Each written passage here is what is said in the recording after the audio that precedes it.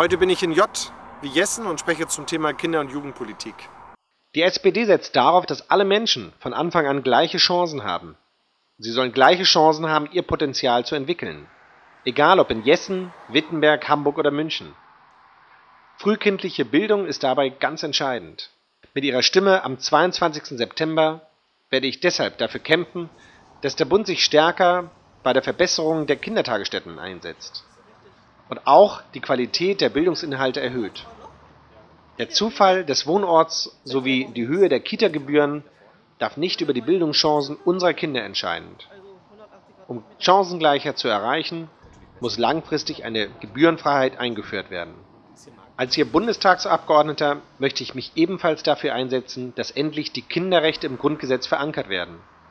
Alle Gesetzgebungen sollen umfassend und ständig dahingehend überprüft werden, inwieweit die Vorgaben der UN-Kinderrechtskonvention eingehalten werden. Unterstützen Sie mich dabei. Wählen Sie mich am 22. September für unsere Region in den Deutschen Bundestag. Wenn Sie möchten, begleiten Sie mich weiter durch unseren Wahlkreis und meine Themen.